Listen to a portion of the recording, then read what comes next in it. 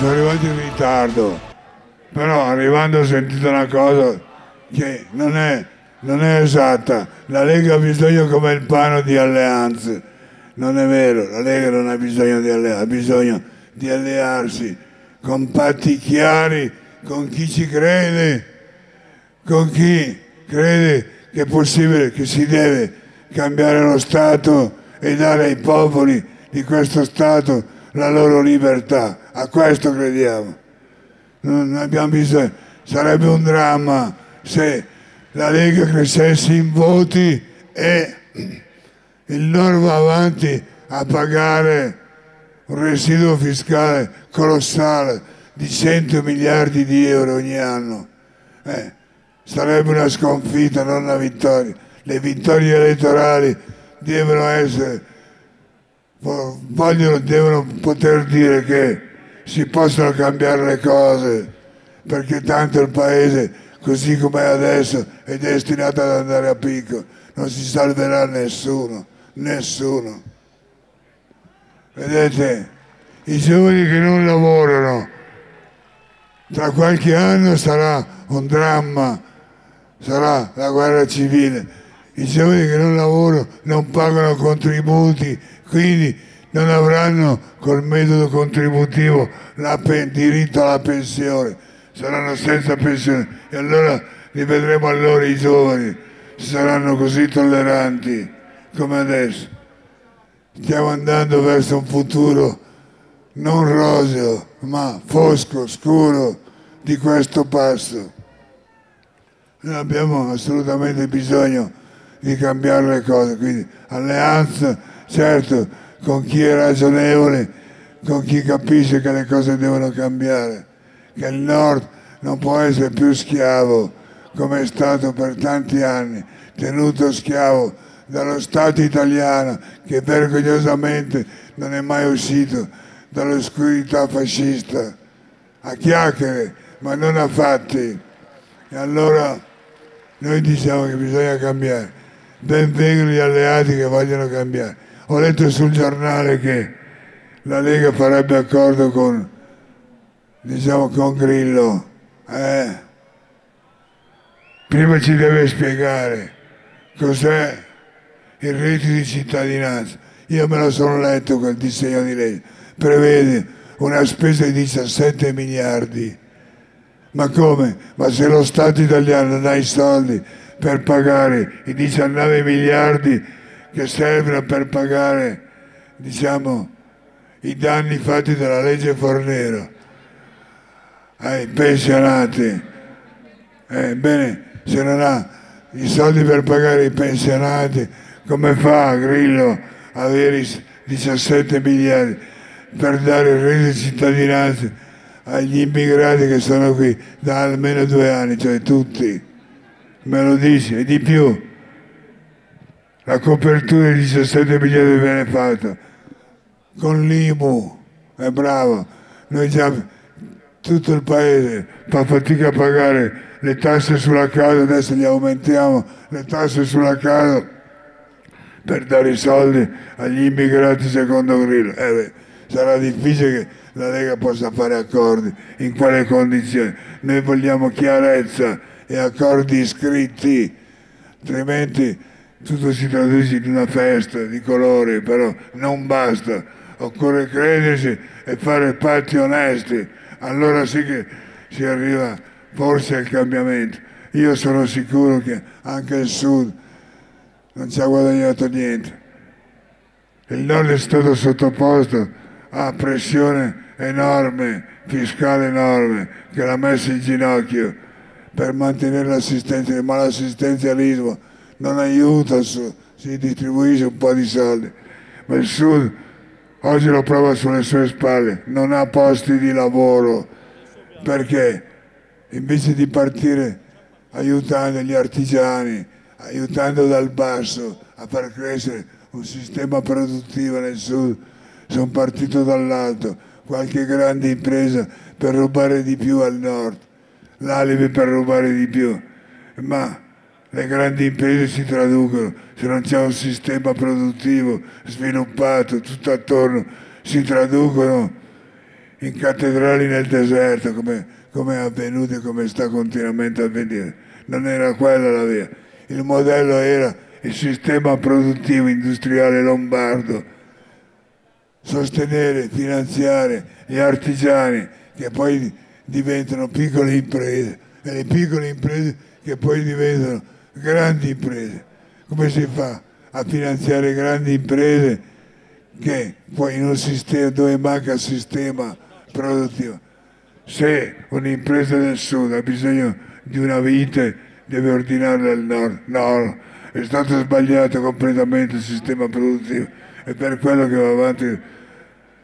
Voleva, Roma voleva l'assistenzialismo per tenere una buona parte lei e qualcosa distribuirla agli altri, chiedendo al sud di compartecipare diciamo, al banchetto assistenziale dell'assistenzialismo con, lei, con Roma, ma oggi anche il sud, io ho parlato con molta gente del sud quando c'è stata la festa a Roma, tutti lamentavano che non c'era lavoro, eh.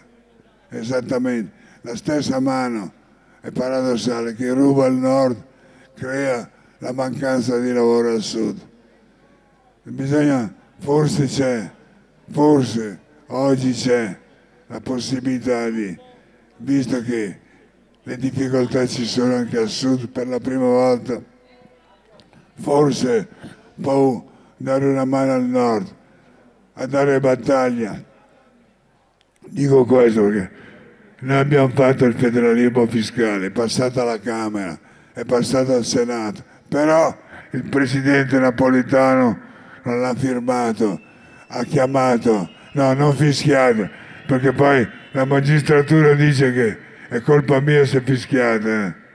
Eh, eh sì, a Bergamo ha un processo perché la gente, io ho detto che il federalismo fiscale non era passato perché Napolitano non l'aveva firmato, anzi aveva chiamato, diciamo, aveva chiamato Monti e Monti la, non l'ha cancellato, l'ha spostato in là negli anni, nei secoli. Noi abbiamo bisogno di risposte adesso, non negli anni, nei secoli. E beh, sarà una responsabilità, no. La Lega e il Parlamento diciamo, aveva approvato il federalismo fiscale, poi l'hanno cancellato. Napolitano l'ha allungato nel tempo, questo non va bene, ne abbiamo bisogno di gente che ci crede, che capisca che c'è una sola soluzione alla situazione del paese, cambiarlo, cambiare il paese, fare un paese più libero che riconosca la libertà di tutti i popoli. Italiani e gli dia la possibilità di galoppare verso il loro sviluppo, verso il loro futuro, non di miseria, ma di forza, di economia. Quindi queste sono le cose che noi dobbiamo. Poi il governo, sentivo prima Luca Zai, il governo eh, non, fa, non sa fare neppure le cose semplici. La riforma della scuola è una riforma più che altro assistenziale, così com'è adesso. Possibile che non sia capace di capire e di chiedersi che non va bene che l'Italia, sia, sia l'unico paese europeo in cui per andare dalla prima elementare a, al diploma occorrono 13 anni, cioè il doppio di tutti gli altri paesi. Eh, sarà un motivo. 13 anni, così la scuola costa moltissimo, perché 13 anni bisogna di moltissimi insegnanti. Eh, è possibile che il governo ha bisogno che venga, venga io a Pontino a dirgli, ma guarda che, no, a dire la verità l'aveva detto anche Renzi, io ridurrò di un anno il tempo per andare al diploma, però poi era già qualcosa un anno, eh, perché faceva risparmiare il 7-8% allo Stato, però, ma che? Tutto viene fatto per ottenere quattro voti i voti, caro Renzi, non sono niente, anche in democrazia, se non sono finalizzati a migliorare, a cambiare il paese. Se invece il paese resta sempre uguale, al di là delle chiacchiere che fai, eh, allora è meglio non sono importanti quei voti. Noi lo diciamo qui, per fare accordo, per fare alleanza con noi, che non crediamo ai voti per i voti, ma ai voti per le riforme, per il cambiamento del Paese. Noi diciamo che i voti per i voti a cui crede Matteo Renzi, noi, a noi non interessa molto. Nella Lega spero che sia ancora così, che a nessuno interessa i voti per i voti. Sì, si trasformerebbe solo in poltrone per un po' di gente. Ma cosa volete che siano le poltrone se non cambia niente? È vergogna stare su una poltrona quando il paese soffre e niente riesce, la politica riesce a cambiare. Questo non va bene, non va bene. State, stanno preparando, hanno paura della rivoluzione, ma la rivoluzione verrà. Pensate quanti giovani non avranno diritto, scopri, toccheranno con mano chi non avrà la pensione, non lavorano, altro che balle, si è creato lavoro. I giovani non hanno lavoro, non pagano contributi e quindi fatalmente non otterranno la pensione. La vedremo bella nei prossimi anni. Altro che fare come... oppure facciamo come ha fatto Prodi. Quando era Premier Prodi ricevette una lettera dall'Europa che gli chiedeva conto delle casse pensionistiche italiane. Erano due, la cassa l'INDAP, la cassa del pubblico impiego e l'IPS, la cassa dei lavoratori del compartimento privato. Cosa ha fatto Prodi? Ha preso l'INDAP e l'ha messo nell'IPS mandando a picco anche l'IPS. Perché, vedete, lo Stato italiano, vergogna dirlo, apro le orecchie in tutta Europa, lo Stato italiano non paga i contributi ai propri dipendenti. E quindi, e quindi l'INDAP era, era pieno di debiti, lo Stato italiano non paga i contributi, un carabiniere, un poliziotto, non si vede, lui non li piglia i contributi, ma lo Stato non li paga e quindi obbligano l'Inps a pagare le pensioni senza aver ottenuto i contributi. Una situazione drammatica, un paese che diciamo fa schifo così. Come si fa a tenere un paese così male? Eh, un paese che finirà male tra non molto comunque finirà male. Voi vi illudete di tenere fermo tutto, di non cambiare niente, di pensare ai vostri voti e basta. Finirà male. Anche gli immigrati. Parliamoci chiaro, non si può, ho sentito prima Zaia, ebbene è molto semplice, non è possibile fare, non si può fare l'immigrazione se non c'è lavoro, perché solo il lavoro fa da collate crea integrazione. Senza il lavoro non è possibile l'integrazione. E oggi non c'è lavoro, quindi non è possibile l'immigrazione. Questa era la semplice realtà. Io ho fatto la legge Bossi Fini, che per quanto poco è stato prima, un primo no, un primo segnale anche ai paesi da cui immigrava la gente che non si poteva immigrare clandestinamente. Io avevo previsto il carcere perché se ne fotteva delle nostre leggi e veniva qui e ci imponeva tutta una serie di cose. Io avevo fatto quella legge per quello, per mandare un messaggio. Guardate che non è uno scherzo. Noi non possiamo fare l'immigrazione se venite, ci costringete a fare cose che non possiamo fare. C'è anche il carcere. Questa è la legge possibile può venire solo e può restare solo chi ha lavoro, perché senza lavoro salta il paese. Altro che fare immigrazione, è una follia fare immigrazione. Non è che è una questione di essere buoni o no, o cattivi. Senza lavoro non si può fare l'immigrazione, punto. Tutto il resto sono chiacchiere di chi non si arrende alla realtà. La realtà è che il governo parla molto, ma il lavoro cresce molto poco e tutto questo produrrà un disastro al nord, al sud, ovunque. Quindi io voglio mandare un saluto a un popolo a cui mi sento molto legato. Partera, Parmar, San Marco, oh.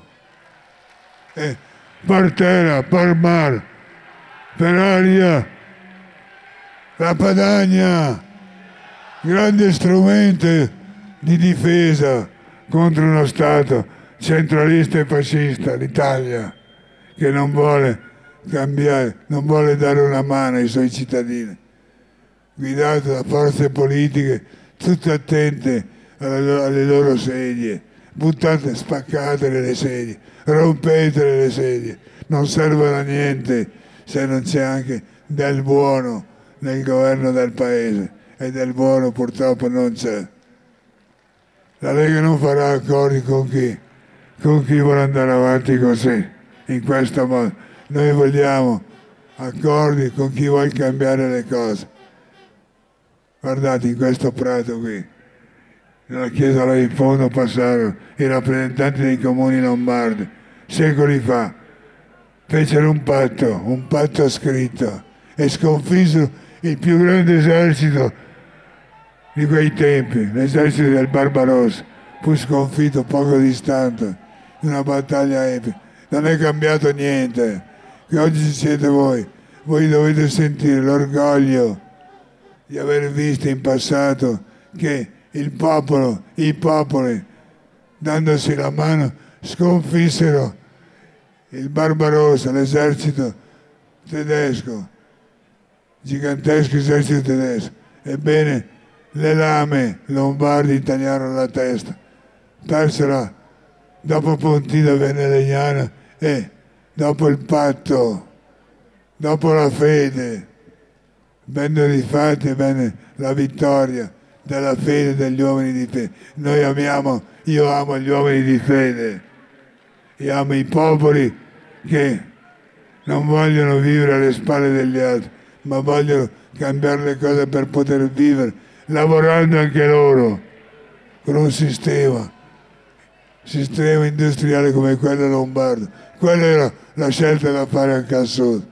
L'esempio era lì sotto gli occhi, ma che hanno fatto l'assistenzialismo brave bestie, adesso, adesso bisogna cambiare le cose, non sapete cambiare, vengono i popoli a cambiarle le cose che voi non sapete fare, le facciamo noi quello che voi non sapete fare. Amici, un abbraccio, Padaglia! Oh! Un simbolo, un grande simbolo, un simbolo, come i simboli sono la Catalogna, sono i baschi, tutti i poveri che hanno dovuto muoversi partendo dal basso, sconfitti sulla carta e vinceranno e verrà l'Europa dei popoli. I popoli avranno lavoro, potranno vivere del loro lavoro senza elemosinare e cambieranno così. Io spero che tra voi tutti ci sia, ci sia questa voglia, la voglia di patti chiari, di fede, Viva la libertà, amici, viva! Viva il cambiamento, la dignità dei popoli. Questo vuol dire Padaglia, dignità di tutti i popoli. Grazie fratelli. Padaglia! Oh, non muore mai, non muore mai. Eh. Ricordate, è una vergogna il Parlamento italiano ha deciso, ha votato il federalismo fiscale e il Presidente della Repubblica non firma la legge del Parlamento. Ma che democrazia è questa? Che democrazia è questa? Oh. Se ci crediamo vinceremo, vinceremo come hanno visto, come hanno vinto a Legnano i comuni lombardi. Bisogna crederci e sapere che bisogna rispettare gli altri. Se poi chi vuole rispetto deve essere pronto a rispettare gli altri, se no non viene. Grazie. Grazie, arrivederci.